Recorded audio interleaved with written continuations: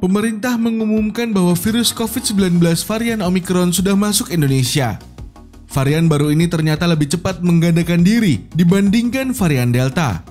Namun, jangan panik. Sekalipun 70 kali lebih cepat menggandakan diri, tetapi gejala yang ditimbulkannya ringan. Dilansir dari Channel News Asia, Para peneliti di Universitas Hong Kong yang dipimpin Michael Chan Chiwai menemukan kendati lebih cepat menggandakan diri, pengembang biakan Omicron di jaringan justru 10 kali lebih lambat dibanding virus corona asal Wuhan. Dengan menginfeksi lebih banyak orang, virus yang sangat menular dapat menyebabkan penyakit dan kematian yang parah meskipun virus itu sendiri mungkin kurang patogen, ujar Michael Chan Chiwai.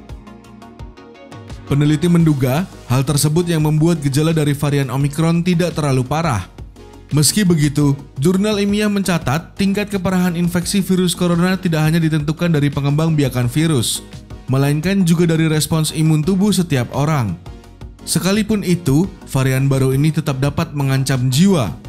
Pasalnya, berdasarkan penelitian, warga yang sudah menerima dua dosis suntikan vaksin COVID-19 Sinovac juga tidak memiliki antibodi yang cukup untuk melawan atau menetralisir varian Omicron.